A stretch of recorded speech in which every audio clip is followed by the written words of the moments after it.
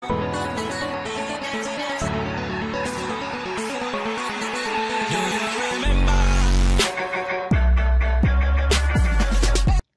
chào tất cả các bạn, hôm nay mình học môn khoa học bài các nguồn nhiệt, nhiệt cần cho sự sống.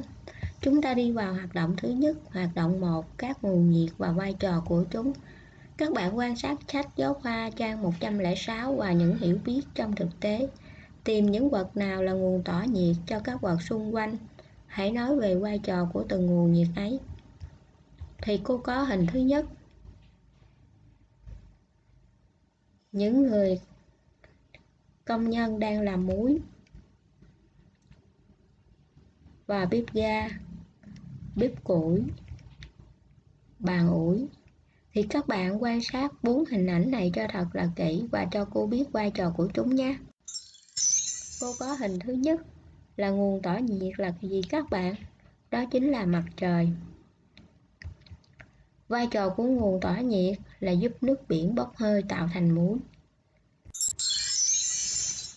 Đây, những hình ảnh này người ta dùng sử dụng nguồn tỏa nhiệt của mặt trời để phơi quần áo và phơi lúa nè các bạn.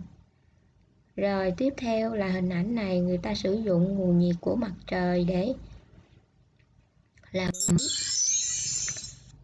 Hình ảnh tiếp theo bếp ga và bếp củi thì nguồn nhiệt đó là gì các bạn? Là ngọn lửa của bếp ga và bếp củi thì vai trò của nguồn nhiệt là để làm gì? Giúp đun nấu thức ăn, nước uống. Còn đây là bàn ủi, nguồn nhiệt của bàn ủi là gì? Bàn ủi đang cắm điện. Vai trò của nguồn nhiệt là giúp làm khô phẳng quần áo. Thì cô có câu hỏi như sau, nguồn nhiệt là gì? Thì cô có câu trả lời, những vật có nhiệt độ cao dùng để tỏ nhiệt cho các vật xung quanh mà không bị lạnh đi được gọi là nguồn nhiệt. Cô có câu hỏi tiếp theo, khi nến, ga, củi cháy hết hoặc khi tắt bếp đi thì còn nguồn nhiệt không? Thì cô trả lời như sau, khi nến, ga, củi, than bị cháy hết, ngọn lửa sẽ tắt. Không còn nguồn nhiệt nữa, khi đó chúng ta không thể thắp sáng, đun nấu.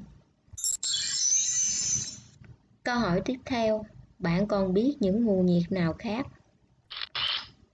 Thì thứ nhất là bóng đèn đang tỏ ánh sáng cho chúng ta làm việc sưởi ấm gà, lợn vào mùa đông. Thì vào mùa đông á, thì có thể người ta dùng á, nguồn nhiệt bằng bóng đèn để người ta sưởi ấm gà, lợn vào mùa đông. Tiếp theo là lò sưởi điện làm cho không khí nóng lên vào mùa đông giúp con người sưởi ấm. Đây là hai hình ảnh này các bạn. Tiếp tục cô có câu hỏi tiếp theo. Trong cuộc sống hàng ngày các nguồn nhiệt dùng để làm thì trong cuộc sống hàng ngày các nguồn nhiệt dùng để đun nấu, sấy khô, sưởi ấm. Cô có câu hỏi tiếp theo. Nhà bạn sử dụng những nguồn nhiệt nào? Thì Cô trả lời như sau, ánh sáng mặt trời, bàn ủi điện, bếp điện, bếp ga, bếp củi, máy sấy tóc, vân vân. Chúng ta qua vào hoạt động thứ hai, cách phòng tránh rủi ro, nguy hiểm khi sử dụng các nguồn nhiệt. Hãy ghi những rủi ro nguy hiểm và cách phòng tránh rủi ro nguy hiểm khi sử dụng các nguồn nhiệt trong cuộc sống hàng ngày. Thì đây là hai hình ảnh hình ảnh thứ năm và hình ảnh thứ sáu. Các bạn quan sát hai hình ảnh này thật là kỹ và cho cô biết nhé. Điều gì xảy ra và cách phòng tránh? Thì trên màn, màn hình của cô cô chia ra làm hai cột cột thứ nhất là cô ghi những rủi ro nguy hiểm cột thứ hai là cách phòng tránh. Thì ở hình thứ năm là những rủi ro nguy hiểm nào các bạn? Thì rủi ro là bị bỏng do chơi đùa gần vật tỏa nhiệt bàn ủi bếp than bếp củi. Rồi còn cách phòng tránh thì sao?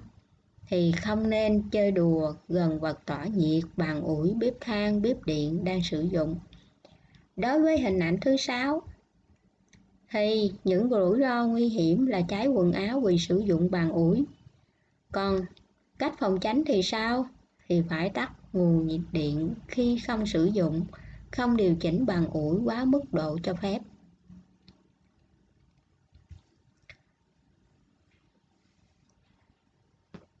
Các bạn cho cô biết tên các nguồn nhiệt và những rủi ro nguy hiểm và cách phòng tránh mà các bạn biết.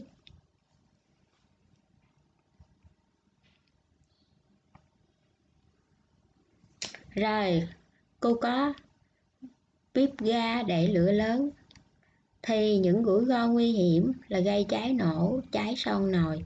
Cách phòng tránh là để lửa vừa, khóa ga khi nấu xong. Còn đối với nguồn điện thì bị điện giật. Còn cách phòng tránh thì không sờ cầm nắm vào các ổ điện, nguồn điện.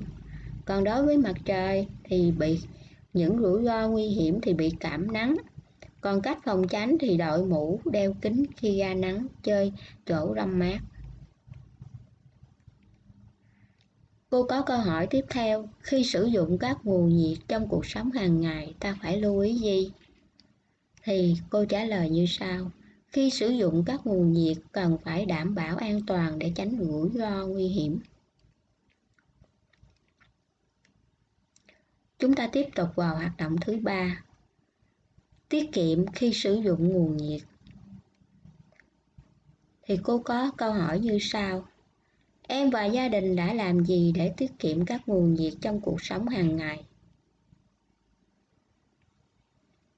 Thì để tiết kiệm các nguồn nhiệt chúng ta cần tắt bếp điện khi không dùng, không để lửa quá to khi đun nóng bếp, đậy kín vít nước để giữ cho nước nóng lâu hơn, theo dõi khi đun nước, không để nước sôi cạn ấm không bật lò sưởi khi không cần thiết, vân vân. Cô có câu hỏi tiếp theo. Theo em, tại sao phải thực hiện tiết kiệm nguồn nhiệt? Thì cô có câu trả lời như sau. Trong các nguồn nhiệt chỉ có mặt trời là nguồn nhiệt vô tận, còn các nguồn nhiệt khác sẽ bị cạn kiệt, nên chúng ta phải biết sử dụng tiết kiệm các nguồn nhiệt cần sử dụng tiết kiệm những nguồn nhiệt do con người tạo ra. Chúng ta đi vào hoạt động thứ tư. Nhu cầu về nhiệt của các loài động vật và thực vật. Thì cô có những hình ảnh này các bạn chú ý nha. Đây là hình ảnh của con lạc đà, gấu trắng, cừu còn đây là chim cánh cụt. Hưu cao cổ. Voi. Còn đây là gì các bạn? Đó chính là xương rồng. Còn đây là cái gì mà ở xứ lạnh nè? Thông cây phi lao hoặc là cây dương.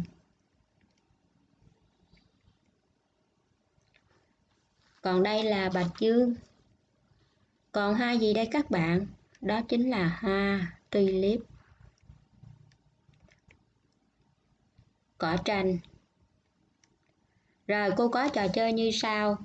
Các bạn sẽ chơi trò ai nhanh ai đúng với nội dung như sau. Sắp xếp các động vật, thực vật, sao thành hai nhóm xứ lạnh và xứ nóng. Thì cô có bạch dương hoa tulip, phi lao, thông, cỏ tranh, xương rồng, hưu cao cổ, gấu trắng, voi, chim cánh cụt, lạc đà, cừu.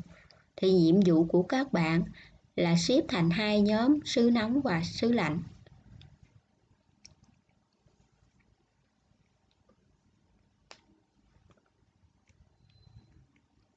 Cô có kết quả như sau. Sứ nóng thì đối với động vật gồm có hưu cao cổ, voi, lạc đà, còn đối với thực vật thì là cỏ tranh, xương rồng, phi lao.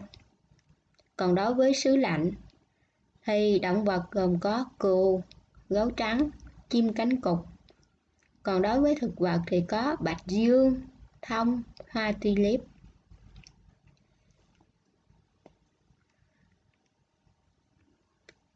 Cô có câu hỏi tiếp theo ngoài các động vật, thực vật nêu trên, em còn biết những động vật thực vật nào sống ở xứ lạnh, xứ nóng.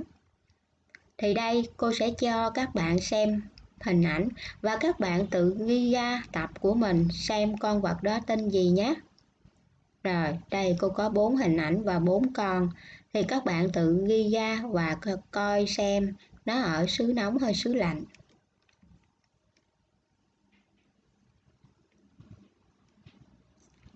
Tiếp tục chúng ta vào hoạt động thứ năm.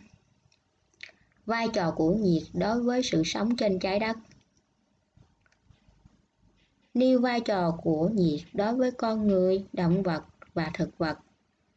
Cô có câu hỏi như sau, nhiệt độ có ảnh hưởng đến sự lớn lên, sinh sản và phân bố của động vật, thực vật hay không?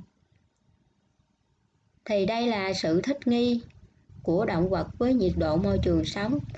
Thì đây chim cánh cụt này các bạn, có lớp lông và mở dày để chống lạnh. Các bạn quan sát chú ý nha. Còn đây là sự thích nghi của thực vật đối với nhiệt độ môi trường sống. Cây xương rồng, không có lá, chỉ có gai để tránh thoát nhiệt. Câu hỏi tiếp theo con người chịu sự ảnh hưởng của nhiệt độ không? Cho ví dụ. Thì cô có câu trả lời như sau, con người cũng chịu ảnh hưởng của nhiệt độ như các loài động vật.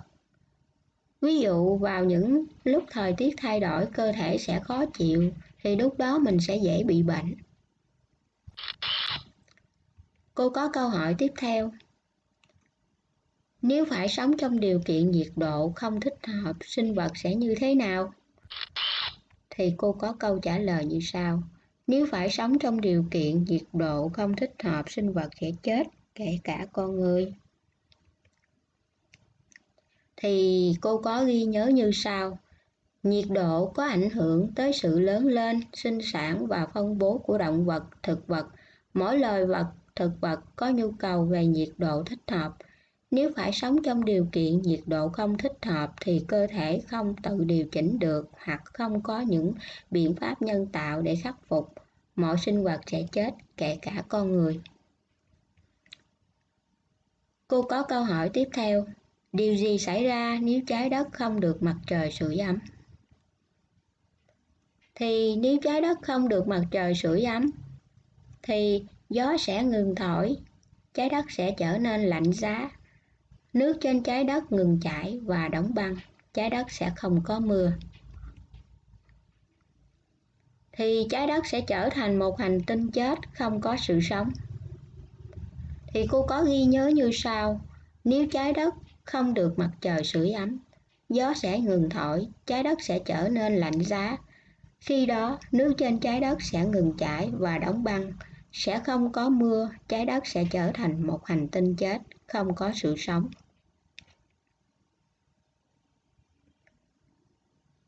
Cô có câu hỏi tiếp theo vì sao không được mặt trời sưởi ấm, gió lại ngừng thổi? Thì cô có câu trả lời như sau, vì không có nguồn nhiệt độ, không khí không chuyển động nên không tạo thành gió.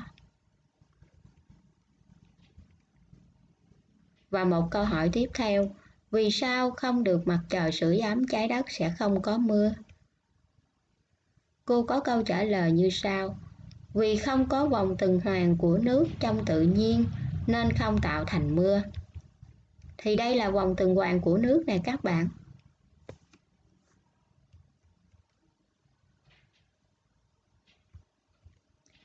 Không có vòng tuần hoàn của nước trong tự nhiên. Nếu không có nhiệt độ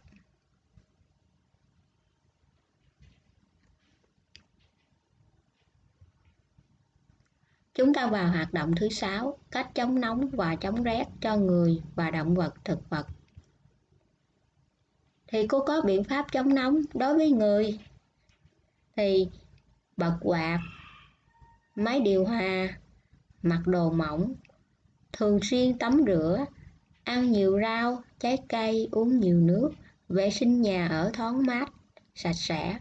Còn đối với động vật thì vệ sinh chuồng trại thoáng mát, sạch sẽ, cho vật nuôi uống nhiều nước. Còn đối với thực vật thì tưới nước cho cây, làm giàn che nắng. Cô có biện pháp chống lạnh. Đối với người, mặc quần áo ấm, đi tất, đội mũ len, sưởi ấm. Còn đối với động vật, che chắn chuồng trại kín gió. Ủ ấm bằng cách dùng vải, bạc vấn lên người cho vật nuôi. Đốt lửa sưởi ấm cho vật nuôi. Còn đối với động vật thì sao? Ủ ấm gốc bằng rơm rạ, mù cưa, làm giàn che trắng. Thì đây là hình ảnh của người khi chống rét. Thì các bạn nè, đội nón len, mặc áo ấm. Còn đối với động vật chống rét thì đây là hình ảnh của động vật chống rét nè các bạn. Tiếp theo, đối với thực vật chống rét và chống nóng, các bạn quan sát cho thật là kỹ nhé. Bài học của chúng ta đến đây là hết. Các bạn học thuộc ghi nhớ giúp cô nhé. Cô chào tất cả các bạn.